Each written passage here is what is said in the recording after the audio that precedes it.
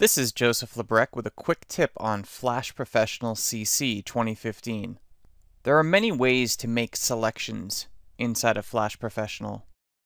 We can draw a selection box around any of these objects that we want to by simply clicking and dragging with the selection tool.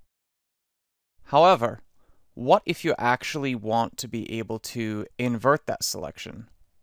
Previous to 2015, you'd have to unselect everything and then simply make a number of additional selections holding down the shift key like this.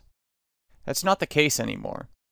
Let's go ahead and select these two objects and let's say we need to invert the selection so that these objects here are selected and these are not. It's actually very simple. You go to edit and now we have a menu option invert selection.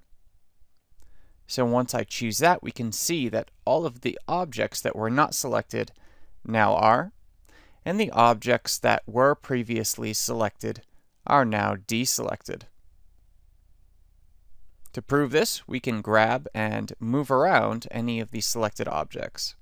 Of course, you can go ahead and invert the selection again to select the previously selected objects.